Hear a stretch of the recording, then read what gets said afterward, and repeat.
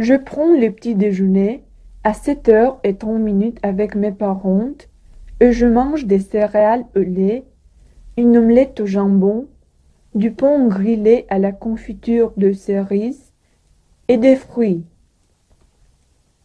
Je prends le déjeuner chez mes grands-parents. Aujourd'hui, on mange de la soupe de volaille, du ragoût de pommes de terre, du rôti de dinde et un gâteau à l'ananas.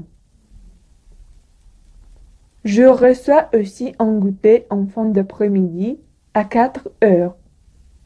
Un sandwich et un verre de jus naturel. Le soir, je prends le dîner chez nous avec mon frère et ma sœur aînée. Ma sœur prépare de la soupe aux légumes, du riz aux champignons et de la salade des fruits.